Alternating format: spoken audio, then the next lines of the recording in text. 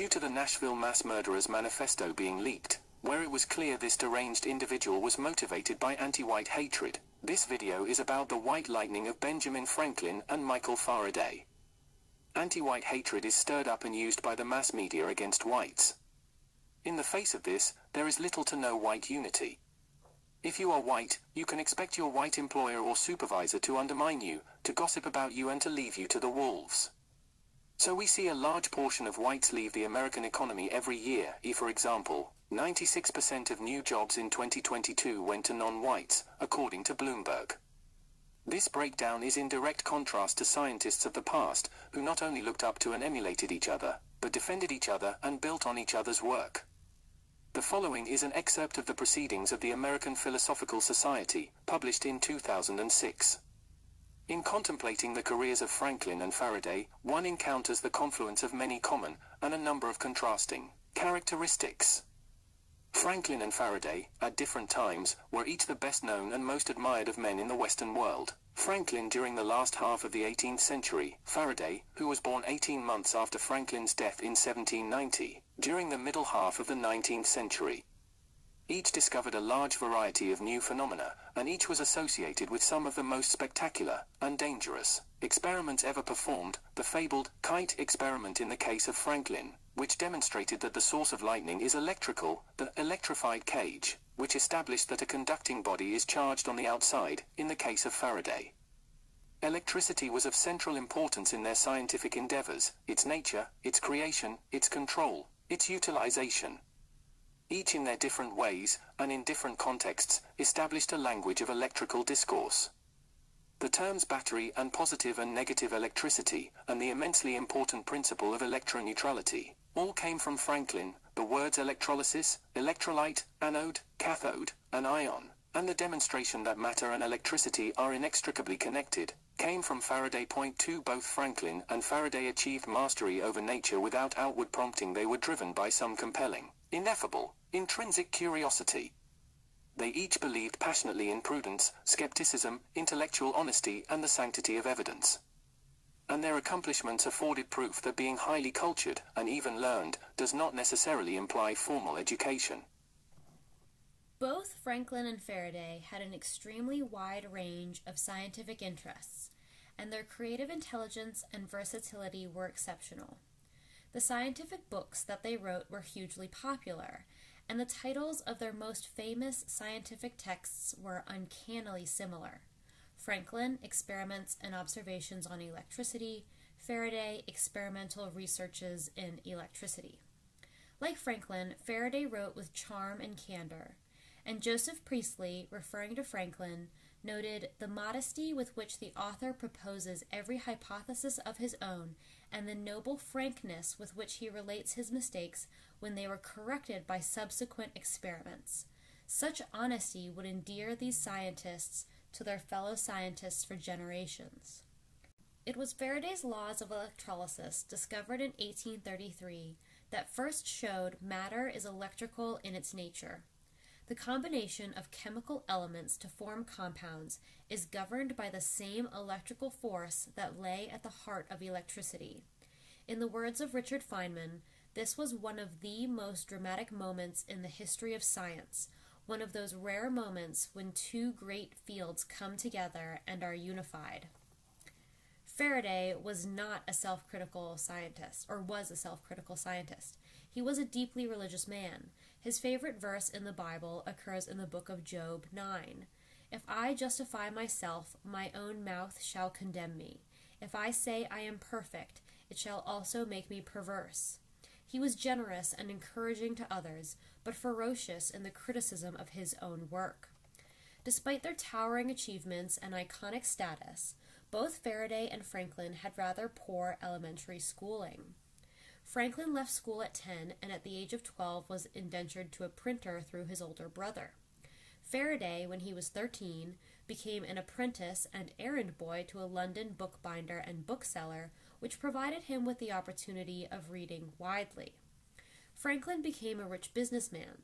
He promoted the establishment of such public services as a fire department, a lending library, and an academy, and he was the founder of a wonderful learned society. He also had homes in London, Paris, and Philadelphia. Faraday lacked the public, civic, political, diplomatic, and legislative skill of Franklin. In contrast to the affable, humorous, witty, effulgent, and gregarious Franklin, who was not averse to indulging in flirtatious talk and action, Faraday was of a retiring, almost reclusive nature. He almost shunned socializing. Yet in his day, especially from the 1830s onwards, after his sensational discovery of electromagnetic induction, he was a leading figure in Victorian England. Prince Albert, Victoria's regent, befriended him and attended many of his lectures, and among those with whom he interacted were the painters Turner and Constable and the writers Ruskin, who would influence Wilde, and Dickens, who would influence Poe. Indeed, Charles Dickens occasionally, Charles Darwin frequently, and Charles Wheatstone invariably attended his discourses at the Royal Institution in London. Lightning is a phenomenon that will forever be associated with the name of Benjamin Franklin.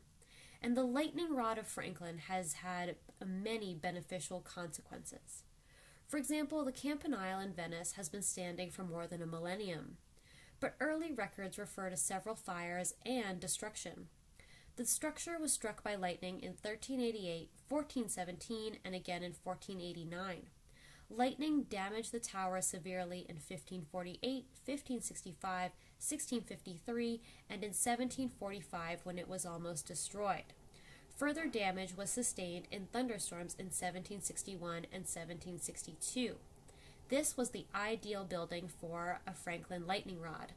So in 1766, one was installed, and the Campanile had a more comfortable existence until 1902, when a major catastrophe occurred with a fall of 13,000 tons of masonry. But it was not any inadequacy on the part of Franklin that caused this incident.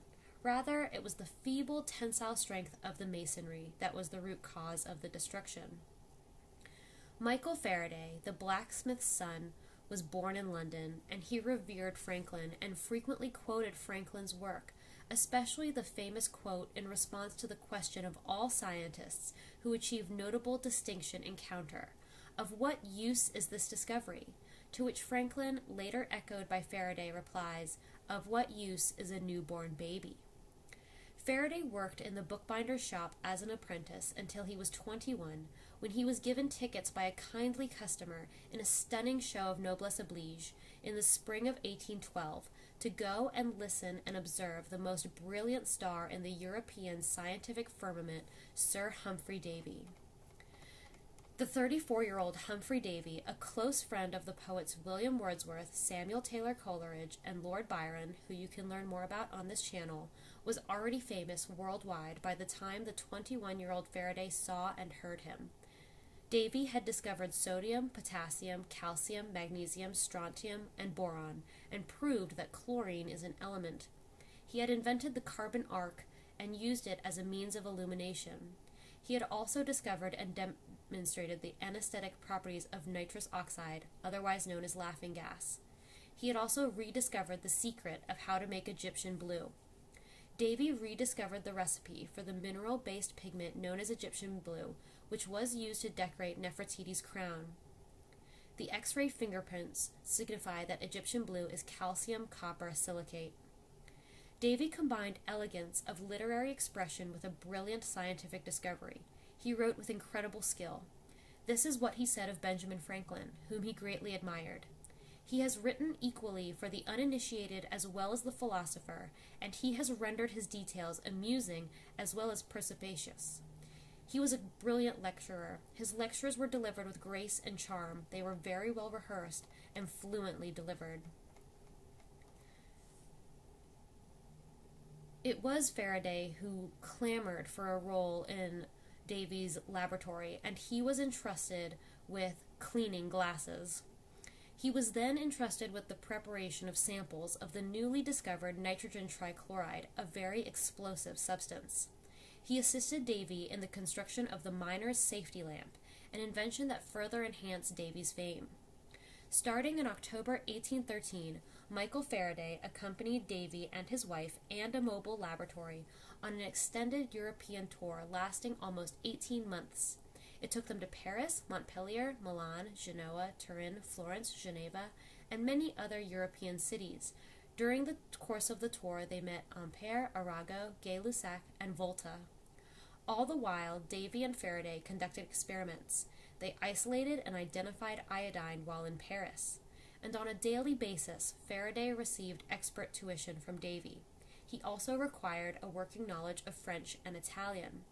They returned in May 1815, and thereafter Faraday's career could hardly be stopped.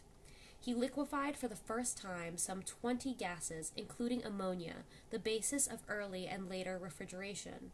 He discovered and established the chemical formula of benzene, which he prepared by distillation of fish oil. He invented the first electric motor in 1821, the same year he was married. He pioneered organic photochemistry, that is, he harnessed sunlight to synthesize new organic compounds. He became a superb analytical chemist. He identified isomers of chemical compounds, showing that isobutylene, which he was the first to prepare, has an empirical chemical formula exactly the same as that of ethylene. He prepared the sulfonic acid derivatives of naphthalene, the precursors of industrial dye. He improved the optical quality of glass, and it was he who first drew glass fibers of a kind that later were used as light guides. He prepared stainless alloy cutthroat razors made of iron and platinum that are still sold today. He pioneered the study of dielectrics, and such was the magnitude of his contribution to this field that the unit of capacitance is named a farad in his honor. In 1829, he wrote a masterly text, nearly 700 pages, on chemical manipulation, which one of the greatest organic chemists of the 20th century was to praise in such terms as to advocate perusal of it by modern practitioners of organic chemistry. He studied catalysts, colloidal metals, and ionic conductivity in inorganic solids such as lead, during which he was the first to note the new topical subject of superionic conductivity.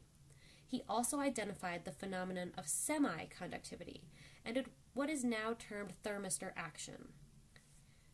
He was so prodigal in his output, it is arguable that he left a greater corpus of scientific discoveries than any other scientist before or since, including Einstein. Lord Rutherford in 1931 called him the greatest scientific discoverer ever, and his successor as director of the Royal Institution, John Tyndall, set out in a series of discourses in 1868, later published as a book, The Astonishing Chronicle of Faraday as a Discoverer. Arguably, his greatest single discovery was that of electromagnetic induction. He argued that a magnetic field surrounded a magnet, and he later argued that a gravitational field surrounds every solid object.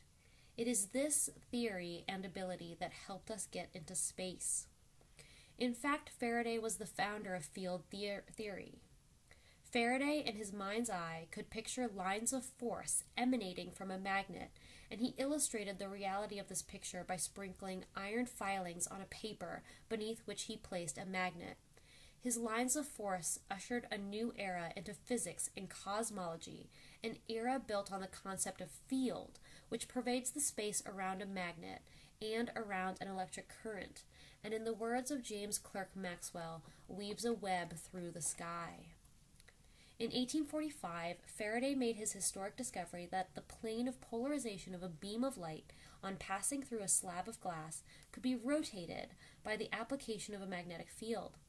This experiment proved that every beam of light has a minute magnetic and also a minute electrical component. This introduced the ability for humans to control light.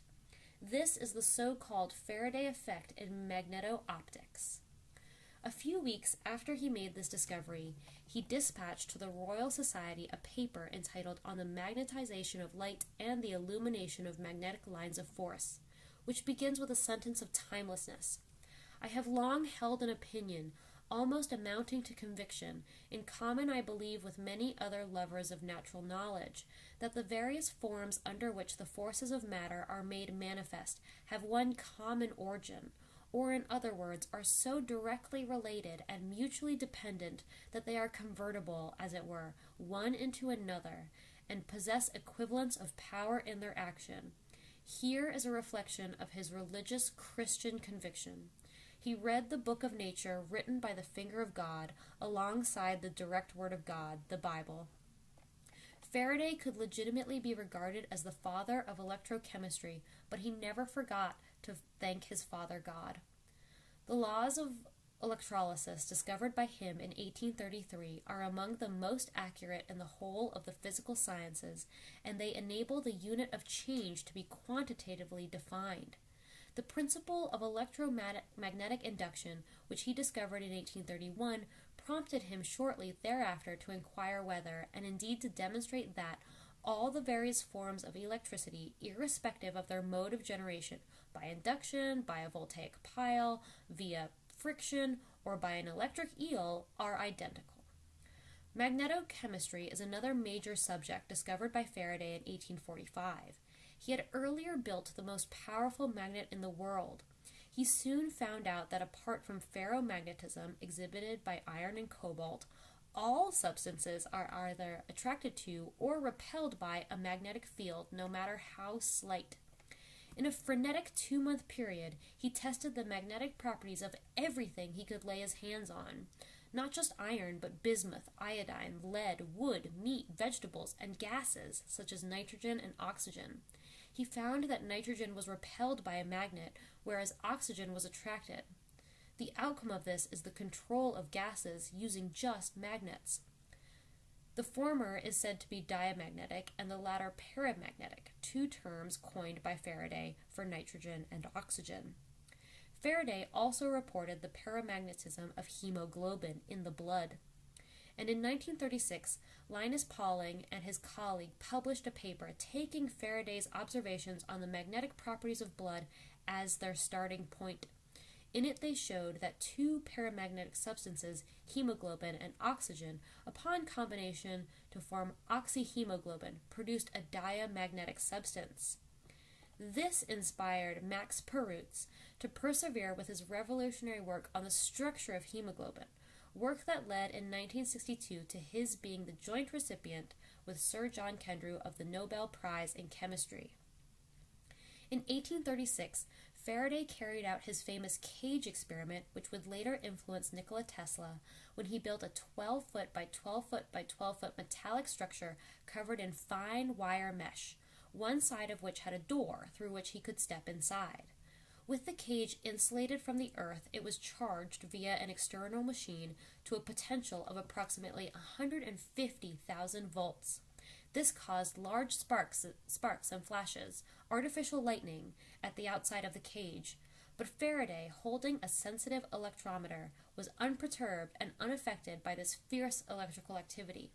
This demonstrated in a daring fashion that an electrified body carries its charge on the outer surface, a fact that is reassuring to remember when we fly as passengers in a jet aircraft through storms and lightning. Faraday was also a lady's magnet. Mary Somerville, an excellent mathematician who translated Laplace's work into English, and after whom Somerville College, Oxford, is named, sent letters of admiration to Faraday. In a letter to her composed on the 1st of March 1834, when he was married, he writes, Dear Madam, I cannot refuse myself the pleasure any longer of thanking you for your kindness in sending me a copy of your work. I did intend to read it through first, but I cannot proceed so fast as I wish because of constant occupation. I cannot resist saying too what pleasure I feel in your approbation of my late experimental researches. The approval of one judge is to me more stimulating than the applause of thousands that cannot understand the subject. Ada, the Countess of Lovelace, was Lord Byron's daughter, and she was an exceptionally good mathematician who took an early interest, as did her more prominent contemporary Charles Babbage, in the forerunner of modern day computers. One of the first computers developed by the United States Navy was called Ada for her. The Countess, so it seems from extant letters she sent to Faraday, was infatuated with him.